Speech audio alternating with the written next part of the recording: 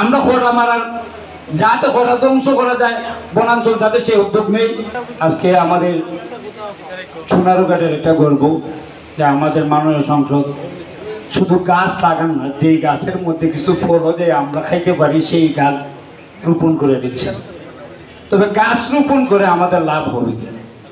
পাশাপাশি আমাদের উপজেলা চেয়ারম্যান মহোদয় একটা কথা বলেছিলেন যে আমরা আম আছে, প্রত্যেক ফল আছে, কিন্তু খোটা একাই আসিস লাগাইলাম সত্য, খাইয়া যদি শেষ করলে এটা তো এখন আমরা খোটাতে বাঁচতাম কিন্তু বয়সে, মহোদয়। কারণ আম তো দিয়ে আপনার সোনার গাছ বুড়ে গেছেন আমরা লাগাইতেছি, আপনি দিতেছেন। কিন্তু খোটা যদি খাইয়া শেষ করলে তো আম সব শেষ। আমরা খাইতাম কিতা পাশাপাশি গাছ যদি না উঠো তাহলে বিদ্যুতের যে অবস্থা, তাহলে আমরা জানি বাঁচত না। আপনার গাছ লাগাই আমরা বাঁচাইতেছুন। বিদ্যুৎ রাত্রে দুইটার সময় হঠাৎ করে নাই। মানুষ গ্রাম অঞ্চলে মানুষ যারা বাইরে হইয়া গাছের তলে বাস করতে পারে, শহরের মানুষ তো বাস করতে পারে না।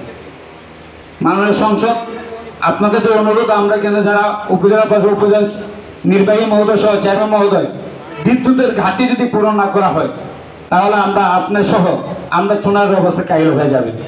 তা আমার দাবি যে বিদ্যুতের ঘাটি পূরণ করা হোক, আমাদের ডিজিএম সাহেবের সাথে আপনার কথা বলে যেভাবে পূরণ করে যায় উপজেলা নির্বাহী অফিসার সহ, আমাদের উপজেলা চেয়ারম্যান সাহেব সহ সেই দাবিগুলো আমাদের দাবি, প্রাণের দাবি।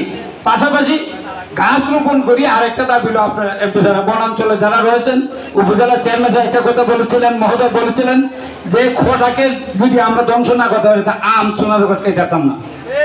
এমপি মহোদয় আমের বাগান লাগাই দিতেছেন আমাদেরকে।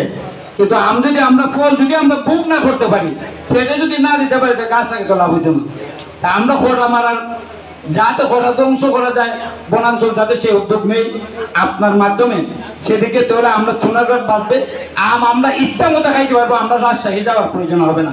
সবাইকে ধন্যবাদ। আজকে আয়োজন করে, কর্তৃপক্ষ যারা রয়েছেন এই আয়োজন করেছেন, আপনাদেরকে অসংখ্য ধন্যবাদ জানিয়ে আমার বক্তব্য শেষ করছি। আসসালামু আলাইকুম। অসংখ্য ধন্যবাদ।